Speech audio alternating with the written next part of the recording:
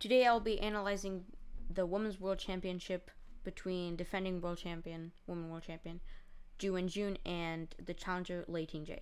So Lei Tingjie is white. We have a Spanish on the board, and this castle's variation, which essentially gives up the pawn. Uh, sometimes you can play rook e1, and you're gonna win this pawn back. Sometimes you can play d4. Now d4 is kind of an interesting line because takes and after say like knight takes takes takes uh, I don't know you know. Uh, I think white has a more spacious advantage here. And if you try and take like this then knight takes and rook e1 is very dangerous. Okay so we didn't have that obviously oops. We had rook e1 and knight d6 and fun fact is it doesn't actually attack this bishop once this move happens. Uh, if you try and take the bishop then knight c6 you're gonna win the queen because it is a discovered check. Queen can't block because of knight takes. Okay? So instead we had bishop to e7 uh, this definitely makes sure the king is not in line of sight of the rook. Okay, so the bishop blocks all the way back to f1, which is a bit of a weird move, but really, where else does the bishop have? Like, it could move here, but, I mean, this blocks on the d pawn, this bishop will never get out. So it moves all the way back to f1. Then I can take on e5, and you can see that these two, these are only two pieces that are in these three ranks basically in the center of the board, which is a bit weird. And this looks like an alien. Like, what is it's it's doing? Like the rooks aren't supposed to be in the middle of the board by move eight. Okay, castles d4 opening the black square bishop. We attack the rook. Rook drops back. Okay, now this move, uh, we're fighting for control of this e file, important e file.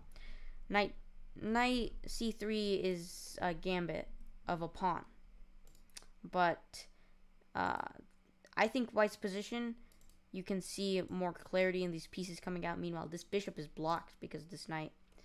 So, bishop d3 takes, queen takes, and it's very weird for black because all of his pieces are on the 8th rank.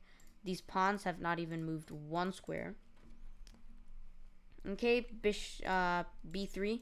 Now, maybe she's looking for some checkmate threats.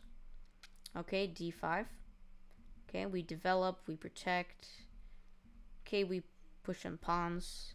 Okay, and now rook e3 is a clear indication of checkmate. You know, we want to go rook g3 and then we want to checkmate here, right?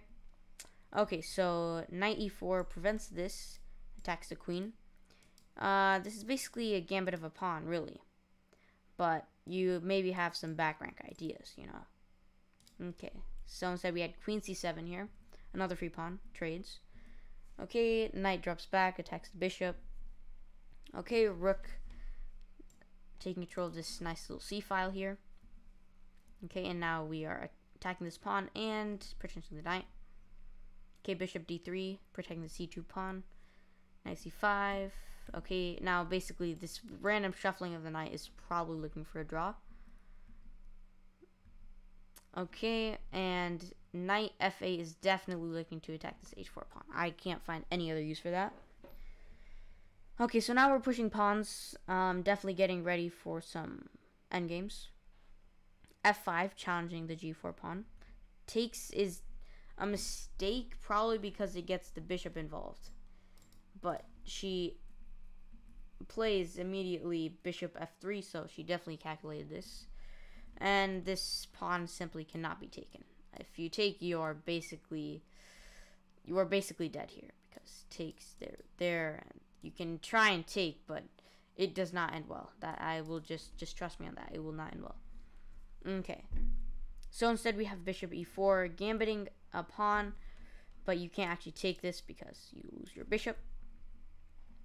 Okay, so we had bishop here, and this basically attacks his pawn but it does give away the c2 pawn, which black decides not to take and decides to defend its e4 pawn.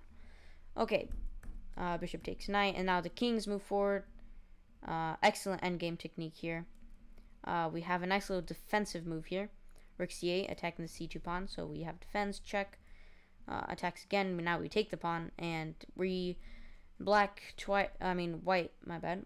Uh, tries to push its only pass pawn b4, but that's never getting to the other side because there's too many checks here, and this is a well-known endgame draw, and I'm sure grandmasters would be well enough to draw this. And they agree to a draw on the 50th move of the game. Okay, nothing too exciting there. Uh, we have, so now we're going to go on to the second game. Okay, so we have d4, and this is, uh, I'm pretty sure this is a Tarrasch defense. You can correct me on that in the comments. Uh, nothing too interesting to see here. We have these bishops moving out early in the game. So you can see this white bishop did a bit of maneuvering, b5 and now e2. And now so did this bishop. Uh, g4 and then immediately went back to e6. Rook e1. Now we want to attack this bishop, get it out, you know. Uh, rook c8 and try and take control of the c file. Um, a3, interesting move, negating movement to the b4 square, but it does lie in some squares, light squares. Okay, bishop b5 now, we move, we see the bishop move again. Okay, a6, and then b4, bishop moves back. Now we have a bit of a weird move, g5, because you're pushing pawns in front of your king, and first instinct is probably to sacrifice this, but there is simply no checkmate threat, because if you try to move here, uh, well, say, if you try to move here, then you just lose your queen. Goodbye. You try to go here, then uh, black is simply up a bishop. So obviously we know that Grandmaster can do that. Bishop moves back, trades. Queen moves to b6, eyeing that d4 pawn. Okay, now bishop to g4. Plan is to take and win that d4 pawn. So we have an exchange and rook d1, adding another layer of protection. King moves, nothing interesting. Now, it's very bad to take this because now if you do, then this knight gets a lot of movement, you know. It's not good to give that. Um, so now black is asking for a trade. Uh, we trade. And now rook moves back to d2 to defend his bishop. Okay, so we're eyeing the d5 pawn now.